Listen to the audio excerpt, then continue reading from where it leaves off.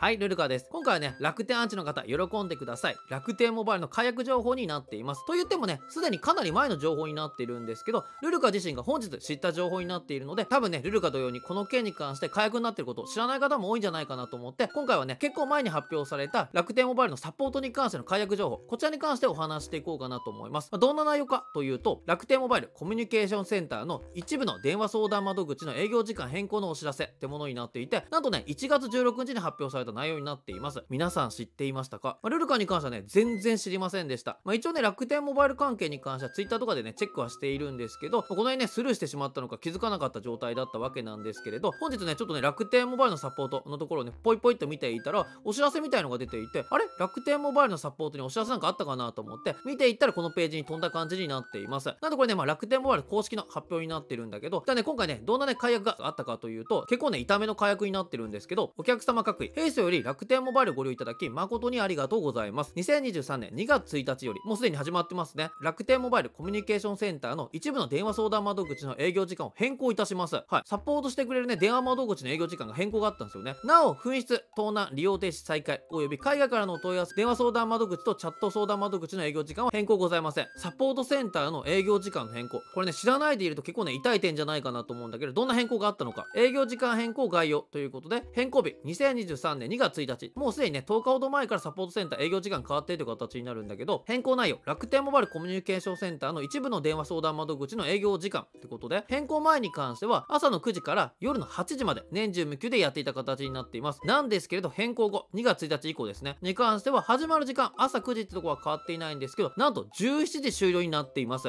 17時以降はチャット相談窓口にてオペレーターが対応させていただきますということで、チャットでの相談を受けることができるんですけれど、電話でのサポートに関関しては17時で終了してしまうという形になったみたいです。これ地味に痛いですよね。普通に仕事をしてるって言ってもね、まあ、今時の世の中、まあ、いろんな時間に働いてる方、いろんなね、仕事のやり方があったりとかするので、みんながみんなね、9時5時とかね、まあ、そういう感じで終わるわけではないと思うんですけど、やっぱね、夕方の5時6時ぐらいまで働いてる方って結構多いんじゃないかなと思います。なんで、仕事が終わったりとか、まあ、そういうのが終わった後にね、サポートに連絡したいという方に関しては、8時までやっていれば、まあ、結構余裕があるんじゃないかなと思います。年中無休というよりもね、24時間ずっと対応しろよみたいな思う方もいると思います。まあ、その点ではルルかね、やっぱ Amazon とか最強だと思うんですけど、なんですけど、現実的に言うと、2行のとこなんてね、ほとんどなかったりとかするので、そこまで求めるのはっていうところはあるんだけど、それでもやっぱね、8時ぐらいまでやってくれてると、結構ね、ありがたいって方多かったんじゃないかなと思います。まあ、それが17時までということで、個人的にはかなりのね、解約に当たるんじゃないかなと思います。まあ、以前までね、8時まで対応してくれていたっていうところで、まあ、そんなね、サポート頻繁に使う方も少ないと思います。まあ、それこそね、楽天のアンチの方、でもアンチだったらもうやめてんじゃねえって話なんだけど、まあ、中にはね、なんかよくわかんないけど、アンチでずっと文句言ってんだけど、やめない人とかいたりするんですよね。まあ、そういう人からすると、ぐちぐちぐちぐちサポートに連絡してると思うんで、そういう人はね、こう頻繁に、こういうの確認してるんで、ああ、今まで8時までぐちぐち言えたのが11時で終了しちゃうんだみたいなね、そんな感じでいたのかもしれないんですけど、普段あまりね、サポート使わない方からすると、いざっていう時に、まあ、仕事終わりとかにね、ちょっとね、楽天やべえから電話したいなと思った時に、もう電話することができなくなった。これね、地味に痛い火薬じゃないかなと思うんですよね。ということでいかがだったでしょうかまあ、個人的にはここ最近ね、楽天モバイルやばいやばいと言われていますんで、やっぱね、経費削減のためにね、サポートの営業時間っていうのを3時間終了ね、前倒しにしたんじゃないかなと思います。まあ、この3時間でも馬鹿にならない経費かかってたんじゃないかなと思うんですけれど、まあ、17時までのサポートと20時までのね、サポートだと満足度が全然変わってくると思います。17時だったりとか18時ぐらいまで働いてる方って電話サポート受けることができないので、そういう方でも受けることができたサポートっていうのを解約してしまったことによって、結果的に問題を解決することができずに楽天モバイルを去るって方が出てきたら、まあ、それはそれでね、本末転倒なことになってくるんじゃないかなと思うんですけれど、やっぱ楽天モバイル、今後もね、厳しい状態が続くと思いますんで、いろんなね、解約出てくるんじゃないかなと思います。なんでね、まあ、ルルカ普段ね、楽天モバイルのいいところっていうのも紹介していますが、いつも言っているんですけど、悪くなった時とかに関してもしっかりと、ね、楽天モバイルの悪い点とかもお話していきますんで、今後もいい点が出てきましたら、もちろんね、速攻でいい点あったよって紹介しまして、こんな感じでマイナスの部分があってもね、ちゃんと動画のオンしていこうと思いますんで、よろしければチャンネル登録いただいて、今後のね、楽天モバイルの展望を見ていただけたらなと思います。今後もいろんな情報上げていきますんで、よかったらチャンネル登録、いいね、コメントお願いいたします。今回も動画の最後までご覧いただき、ありがとうございました。